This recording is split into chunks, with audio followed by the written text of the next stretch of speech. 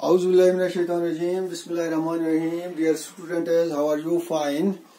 It's class 10th, subject science. In previous lecture, we have discussed about the autotrophic mode of nutrition. Rather, we can say that in photosynthesis. Today, our topic is heterotrophic nutrition or nutrition in animals. What the heterotrophic nutrition means? First, you should know that the hetero it's a combination of two Greek words. Hetero means different and trophy means feeding. So we can say that in this very much mode of nutrition, the in animals that which uh, occurs in animals, the organism is not able to prepare its own food. In heterotrophic mode of nutrition, the organism is not in a position to prepare its own food, but is dependent on other organisms for its food requirements. So, we can say that the heterotrophic nutrition, ये वो nutrition है जिसमें एक organism अपनी गुजा खुद नहीं बना सकता है, बल्कि वो क्या करता है? वो दूसरे ऑर्गेनिज्म पे डिपेंडेंट होता है अपनी गुजा के लिए। इसमें अगर हम एग्जाम्पल्स लेंगे तो तमाम जो एनिमल्स हैं, वो आएँगे। All animals fall in the category of heterotrophic nutrition में आते हैं। Some bacteria are there fungi and some non green plants non green आदि नॉन ग्रीन प्लांट्स भी हैं जो इस मोड ऑफ़ न्यूट्रिशन में आते हैं। हिट्रोट्रॉपिक न्यूट्रिशन जो है, इसको फर्दर क्लासीफाई हम करते हैं तीन टाइप्स में। क्या बेटा? हिट्रोट्रॉपिक न्यूट्रिशन जो है it is further classified into the three types saprophytic nutrition parasitic nutrition and holozoic nutrition तो इन तीन टाइप्स को हम इस वक्त थोड़ा सा समझने की कोशिश करेंगे what does saprophytic mode of nutrition means it's a sapro means rotten क्या? रोटन इसमें क्या होता है? ऑर्गेनिज्म जो होता है, वो अपनी गुजा डेड डिकेइंग ऑर्गेनिक मैटर से हासिल करता है। कहा से? Organisms get their food material from that decaying organic matter यहाँ पर ऑर्गेनिज्म क्या करता है? It releases some enzymes outside the body to digest the that organic matter उसके बाद क्या होता है? इसी को कन्वर्ट करता है इंटू सिंपल सब्सटेंसेज जो ये सिंपल सब्सटेंसेज है, इसको फिर यूटिलाइज करता है वो अपनी बॉडी में एज अ फ़ूड यहाँ पर एग्ज़ाम्पल हम दे सकते हैं मशरूम बैक्टीरिया मशरूम और बैक्टीरिया है राइजोपस है। ये एग्जांपल है सेप्रोफिटिक में सेप्रोफिटिक में क्या होता है? ऑर्गेनिज्म अपनी गुजा रोटन डेड डिकेइंग मटेरियल से हासिल ऑर्गेनिक मैटर से हासिल करता है। दूसरा parasitic mode of nutrition parasitic mode of nutrition में क्या होता है? यहाँ पे ऑर्गेनिज्म डिपेंड होता है अदर लिविंग ऑर्गेनिज्म पे। एक ऑर्गेनिज्म दूसरे ऑर्गेनिज्म पे डिपेंडेंट होता है। क्या होता है? डिपेंडेंट होता है। किसके लिए? For food by growing on them या उसके ऊपर ग्रो करता है और by living inside them या उसके जिसम के अंदर लिव करता है। वो ऑर्गेनिज्म ये organism. This organism is called parasite इस ऑर्गेनिज्म को हम पैरासाइट कहते हैं। कहते हैं एंड द अदर ऑर्गेनिज्म दूसरा ऑर्गेनिज्म ऑन विच जिसके ऊपर ये पैरासाइट डिपेंड करता है, उसको हम होस्ट बोलते हैं। समझाया पैरासिटिक मोड ऑफ़ न्यूट्रिशन में दो ऑर्गेनिज्म इन्वॉल्व होते हैं। एक ऑर्गेनिज्म के ऊपर दूसरा ऑर्गेनिज्म डिपेंडेंट होता है, वो उससे अपनी गुजा हासिल करता है। जिसके ऊपर डिपेंडेंट होता है, उसको हूस्ट बोलते हैं। जो डिपेंडेंट होता है, उसको हम पैरासाइट बोलते हैं। पैरासाइट वो पैरासाइट जो बॉडी के अंदर ऑर्गेनिज्म के बॉडी के अंदर होगा, उसको हम बोलते हैं एंडोपैरासाइटिस और वो पैरासाइटिस जो बॉडी के ऊपर होगा, उसको हम एक्सोपैरासाइट्स बोलते हैं। एग्ज़ाम्पल इसमें है एनिमल पैरासाइट्स एस्कैर्स है टैपर में टिक्स है, और प्लांट पैरासाइट्स में हम कास्पिटा प्लांट्स को लेते हैं। ये हो गया पैरासिटिक मोड ऑफ़ न्यूट्रिशन। उसके बाद है holozoic nutrition. Holozoic mode of nutrition जो होती है, इट ऑकोर्स इन एनिमल्स किन में? एनिमल्स में।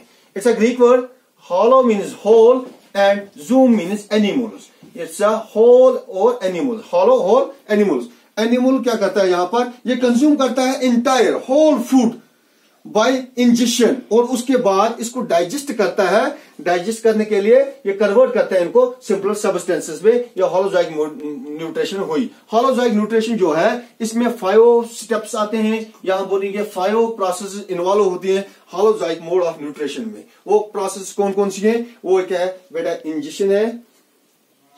Very much process injection second one is digestion third one is absorption fourth one is assimilation fifth one is egestion अब देखेंगे इंजेक्शन क्या हुआ ये वो अमल है, वो प्रोसेस है, जिसके ज़रिए से एक ऑर्गेनिज्म ये गुजा अपनी बॉडी में लेगा।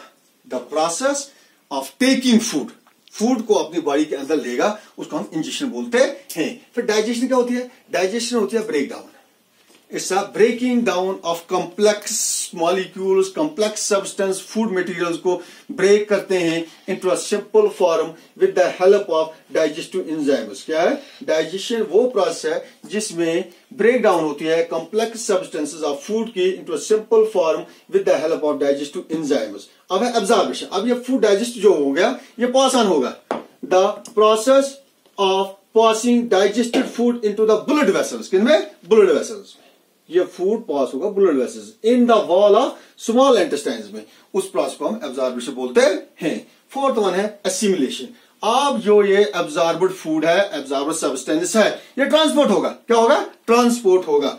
The process by which the absorb substances are transport to different organ different organ body के डिफरेंट ऑर्गन में वो ट्रांसपोर्ट होगा। To build the complex substances उस प्रोसेस को हम बोलते हैं एसिमुलेशन एंड लास्ट वन वो है इजिशियन अब हमारी बॉडी में, एक एनिमल की बॉडी में अनडाइजेस्टेड फ़ूड मौजूद रहता है। अब वो अनडाइजेस्टेड फ़ूड को बॉडी से रिमूव करने की प्रोसेस को हम इजेक्शन बोलते हैं।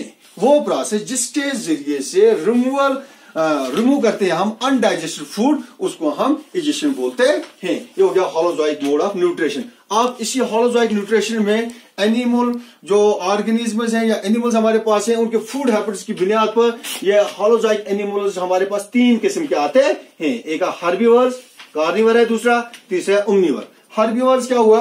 ये वो एनिमल्स हैं जो सिर्फ़ प्लांट और प्लांट प्रोडक्ट्स को खाते हैं। Some animals eat only plant and plant products and those very much animals are called herbivores for example cow है हमारे पास शीप है गोट है।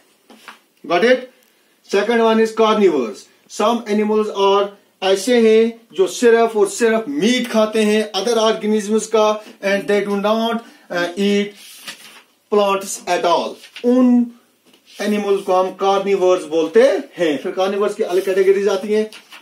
उमनी इसका एग्जांपल्स में हम ले सकते हैं। लाइन है टाइगर है हॉक है बेटा।